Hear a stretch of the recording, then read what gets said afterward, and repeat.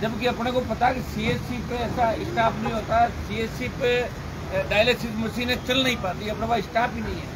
और उनके आनंद फानन के अंदर कहा कि बहुत बड़ी आवश्यकता है। और दूसरे स्टेट जो थे, उनसे महँगी दर पे, करोड़ों रुपए का इन्होंने भुगतान भी कर दिया, और एक मशीन आई जो बस्सी सीएससी पे लगाई और वो भी ताले के अंदर बंद है। और मंत्री का ये कहना, स्वास्थ्य मंत्री का जो कांग्रेस सरकार के स्वास्थ्य चिकित्सा मंत्री थे प्रसादी मीणा, उनका ये कहना कि मेरे फ़ाइल पे सिग्नेचर नहीं है। फ़ाइल नोट शीट में भी सिग्नेचर उनके है और कॉन्ट्रैक्ट का जो एमओ है उसमें भी सिग्नेचर उन्हीं के ये राजस्थान सरकार के अभी के मंत्री ने स्वीकार किया उन्होंने। उन्होंने कहा कि सिग्नेचर है और मैंने मांग की कि इस मामले की जाँच एसीबी से कराई जाए और राज्य सरकार ने जाँच को एसीबी को दे दिया।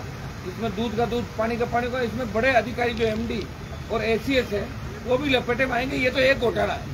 पता नहीं कितने घोटाले पूर्ववर्ती सरकार के अंदर हुए तो उन घोटालों की जाँच के लिए आरएलपी पार्टी हमेशा भ्रष्टाचार के खिलाफ सड़क की सदन तक कर रही है। ये मैंने मामला स्थगन के माध्यम से उठाया था और सरकार ने ऐसी भी जाँच के आदेश ईआरसीपी को लेकर।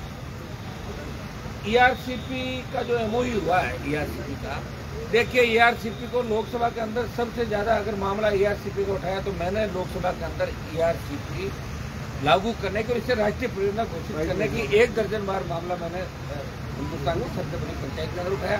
राज्यसभा के अंदर जो डॉक्टर साहब इस मामले को बार बार उठाया उनका इलाका था। जो एमओयू है वो तो अच्छी बात है लेकिन राजस्थान के हिस्से के पानी को कम किया गया और हमारी मांग है इसको राष्ट्रीय परियोजना घोषित करे। मध्य प्रदेश में इनकी सरकार है राजस्थान में इनकी सरकार है और केंद्र में इनकी सरकार है। ये मैं मांग करता हूँ राष्ट्रीय परियोजना ईआरसीपी को घोषित करे।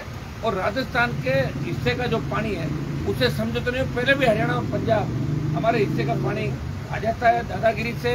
हमारी सरकारें कमज़ोर है, उसकी वजह से बड़े बड़े आंदोलन चल रहे हैं, आप देख रहे हैं। किसानों ने गोलियाँ भी सीने पर खाई और रोज किसान आंदोलन करता है। ये हमारी मांग है ईआरसीपी की मांग में